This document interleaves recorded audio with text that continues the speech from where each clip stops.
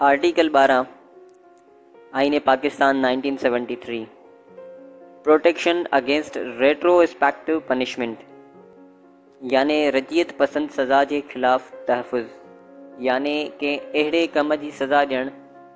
جدیں وہ کم تھو ہو تدیں وہ کو گناہ نہ ہو ان کا بعد میں کو قانون پاس تھے ان کے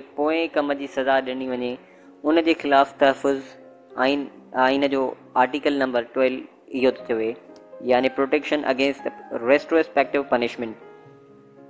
under the constitution no law shall authorise the punishment of a person for an act or omission that was not punishable by law at the time of act or omission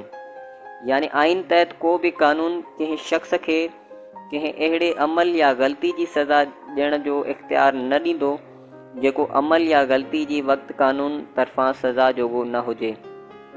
یعنی اہڑو کو کم کجے اہڑو کو افراد کجے، جیکو ان وقت افراد نہ ہوجے، بعد میں جڑے قانون پاس تھے، وہ ان کے سزا پوئیں، گناہ جی ڈیجے تو ان خلاف پروٹیکشن ہے تو ان کے کا بھی اڑی سزا نہ ڈنی ویندی بعد میں۔ Article thirteen protection against double punishment and self incrimination بٹی سزا خود سزا کے خلاف تحفظ۔ Double jeopardy means the prosecution or the sentencing twice for the same offense and self incrimination means to enforce a person to become the witness against himself. Constitution of Pakistan has negated concept of the double jeopardy and self incriminations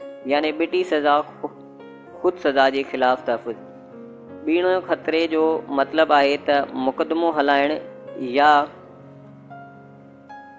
یا ساگے ڈوہن لائے ب بھیرا سزا ڈیڑھ خود ڈوہن جو مطلب ہے ایک شخص کے پنجے خلاف شاہد بنائن تے مجبور کرن پاکستان جے آئین میں بٹی خطرے خود ڈوہن جی تصور کے رد کیو ونے تو سمپل ان جو مطلب ہے تو protection against double punishment and self incrimination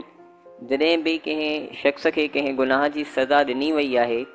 تو ان کے ساگے ہی کم کے لائے بیر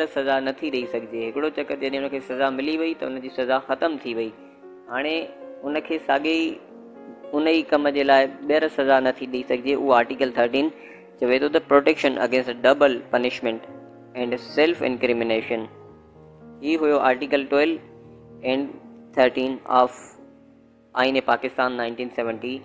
تھری۔